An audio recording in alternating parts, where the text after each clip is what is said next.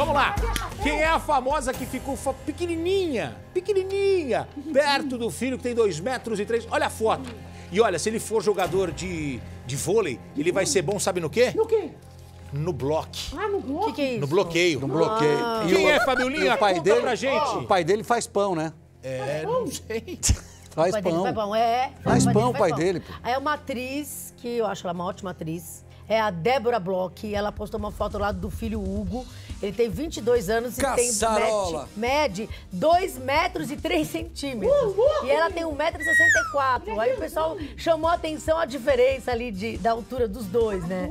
A mãe e o filho. E ele é filho da Débora Bloch com o Caçarola. nosso querido Olivier. Olivier Anquier. É Quem é o cantor?